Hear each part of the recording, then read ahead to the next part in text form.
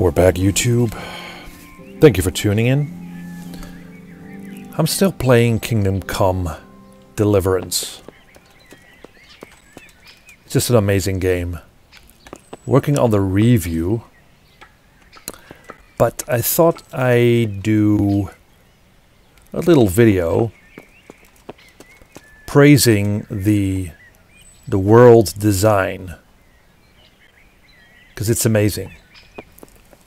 I'm currently visiting Sasau, and I think this is one of the best designed villages, towns you can visit in Kingdom Come Deliverance. As you can see, it consists of two parts of the town. One pa part on the south side of the river and one part uh, north of the river. And what's interesting, that's back in the day, really, the Middle Ages or sometime around there, this is how cities grew, basically, alongside water, because water, like this river, was a source of life, really to clean, to drink from, to use for growing crops. So it's very organic to have um, the city situated right here, close to the riverbed, basically, alongside it, really. Um, so it's going to take you on this path. And what's also great is you see a lot of the, the clutter stuff. Like this, just random planks and wood and a, and a basket and this wheel. It feels all sort of random and all part of the game world.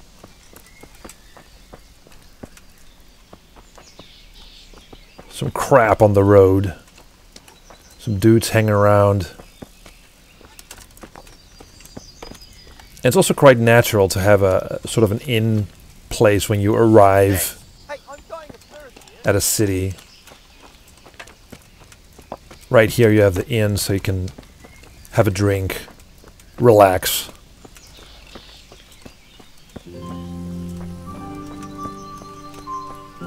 It just looks fantastic, this game. Look at the mud.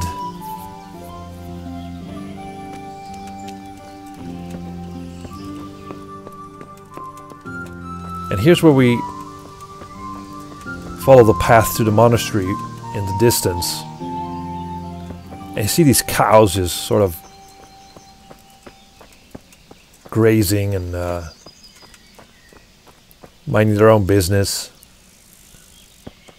Don't need fences in this game. where, where should they go? I mean, also the draw distance in this game is just phenomenal.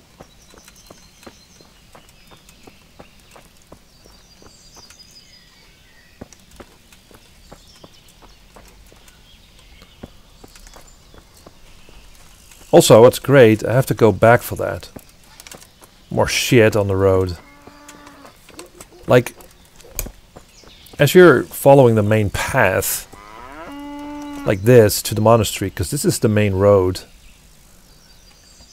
there's this shortcut. And it's really very interesting that the developers took the time and effort to create this shortcut because that's what happens like organically when people move along the road they they have the tendency to to take a shortcut like this one because if you're going to the monastery why follow this road like this, if you can take this shortcut, like this, right? That's what happens, you know, when people move alongside roads, they create these shortcuts. So everything here is so well designed. It's just incredible. It's it's something that you just don't always think about as you play the game, but it is rewarding to like you know stop and smell the roses at times. Again, here's another one of those shortcuts. Goes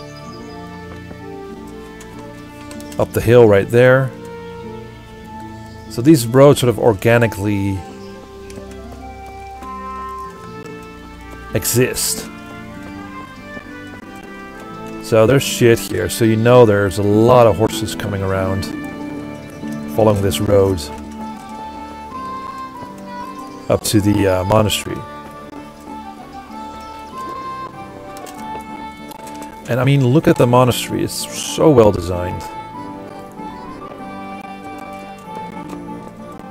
Really beautifully done. I mean, look at this.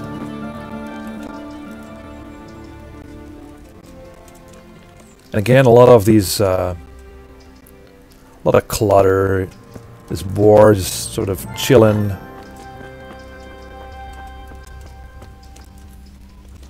lot of wood. And this monastery is sort of under construction.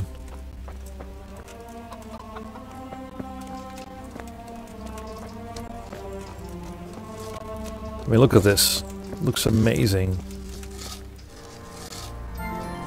People working here on the wood.